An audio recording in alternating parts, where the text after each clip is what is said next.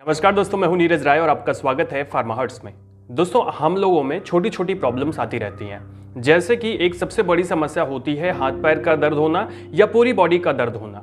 इसके पीछे रीज़न होता है हमारी मसल्स का स्ट्रेन यानी जब हम आ, कोई काम करते हैं या किसी भी रीज़न की वजह से अगर हमारी मांसपेशियों में खिंचाव आ जाता है स्ट्रेन आ जाता है तो उसकी वजह से या फिर हमारी मांसपेशियाँ अकड़ जाती हैं तो हमारे शरीर में दर्द होता है।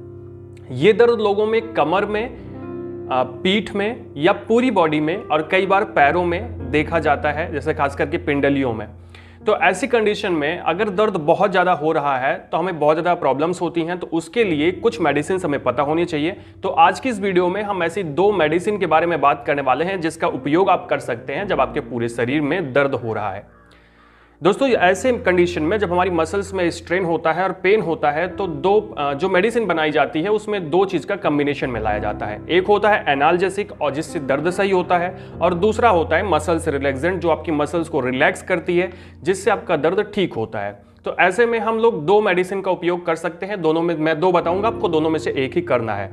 कौन कौन सी है? तो पहली जो प्रेफर करना है वो है आ, Zerodol T H four. Zerodol T H four में एसिक्लोफेनेक के साथ में थायोकॉल्चिकोसाइड होता है। एसिक्लोफेनेक एक प्रकार का एनएसआईडी होता है, थायोकॉल्चिकोसाइड एक प्रकार का मसल्स रिलैक्सेंट होता है। इसके अलावा जो दूसरी मेडिसिन है, वो यूज़ कर सकते हो।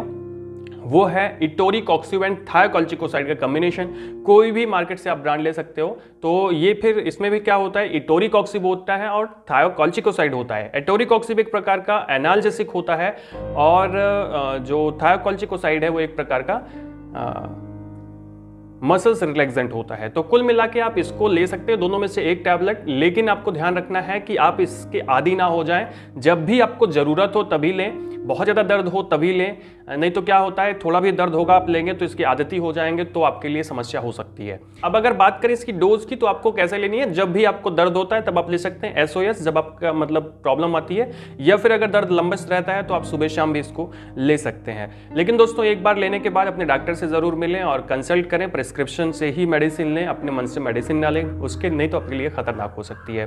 तो दोस्तों एक छोटा सा वीडियो था, वीडियो आपको इन्फॉर्मेटिव लगा हो अच्छा लगा हो तो चैनल को सब्सक्राइब ज़रूर करिएगा, वीडियो को लाइक करिएगा, दोस्तों के पास शेयर करिएगा। और आ, हमारा हेल्थ बुक चैनल यार ज़रूर देखिएगा आप लोग मुझे लगता है कि देखते नहीं है। डिस्क्रिप्शन में आपको लिंक मिल जाएगा उस पर आपको बहुत सारी बहुत अच्छी वीडियो भविष्य में देखने को मिलेंगी। मिलते हैं नेक्स्ट वीडियो में तब तक के लिए नमस्कार।